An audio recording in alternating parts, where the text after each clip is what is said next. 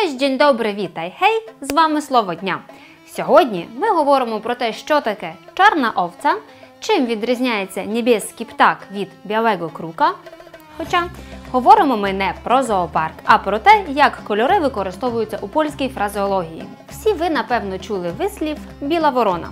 Так називається той, хто відрізняється від загалу.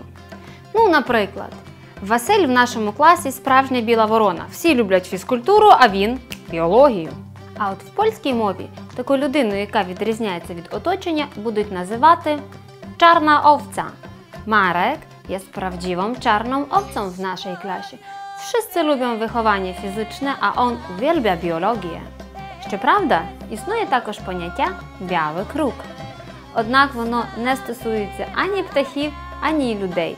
Білим круком називають дуже рідкісні старовинні книги.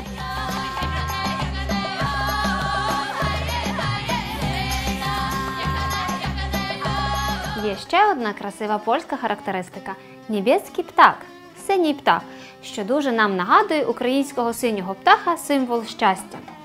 Одначе у польській мові небеський птах не має нічого спільного ні з орнітологією і навіть з синім кольором. Небеський птак так називають людину дармоїда, людину легковажну і безвідповідальну.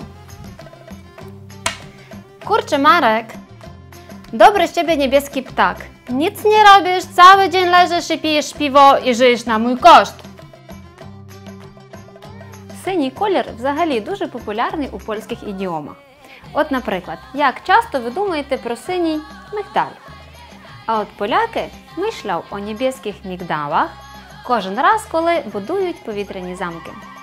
Але є також і багато таких ідіом, які ми без проблем розуміємо, оскільки вони схожі на українські. Ось, наприклад, якщо я скажу Ян єст злотом рончком, це означає, що Ян має золоті руки, майстер на всі руки. Також, коли я скажу про щось, що я не маю зеленого поняття, я не мам зеленого поєнча, це означає, що я нічого в цьому не розумію.